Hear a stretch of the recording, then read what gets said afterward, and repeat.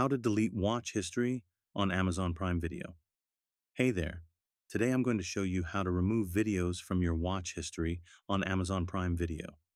It's a simple process that can be done in just a few steps.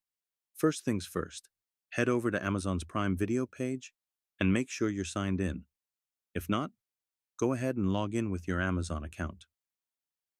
Once you're on the Prime Video homepage, look for your profile picture in the top right corner of the screen. Give it a click. A drop-down menu will appear. From there, select Account and Settings.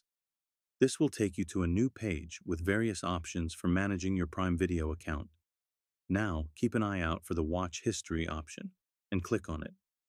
This will display a list of all the videos you've watched recently. Find the video you want to remove from your watch history.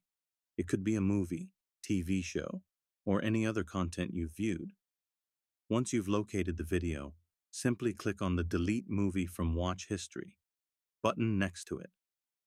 The video will be removed from your watch history, and you're all set. It's that easy.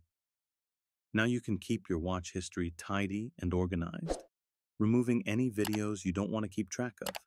Happy streaming on Amazon Prime Video.